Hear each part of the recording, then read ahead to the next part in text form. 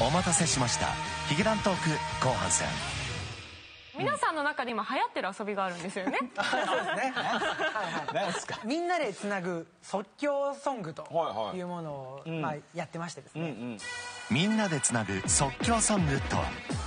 お題に沿って一人ずつ即興で歌っていき一つのストーリーを完成させるという遊び。今回のお題は彼女は夏しか無駄毛を処理しない。それではお願い。しますはい。はい。ね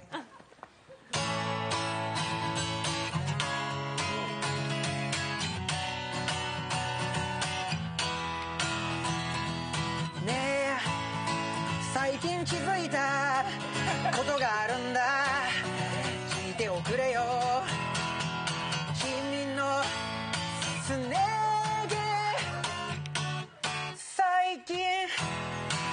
びてないか。バカ言っちゃダメよ。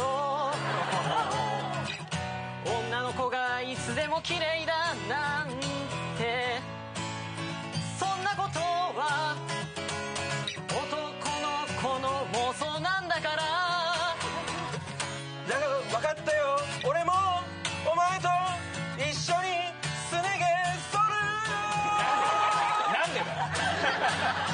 秋の時期君の脇の下に。なんだか毛虫みたいなのついてるね。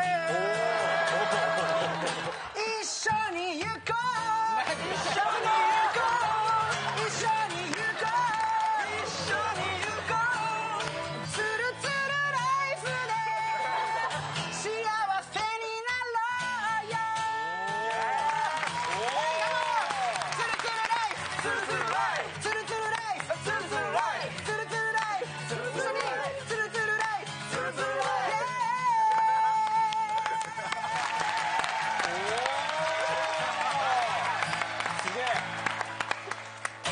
めっちゃいい曲ですね。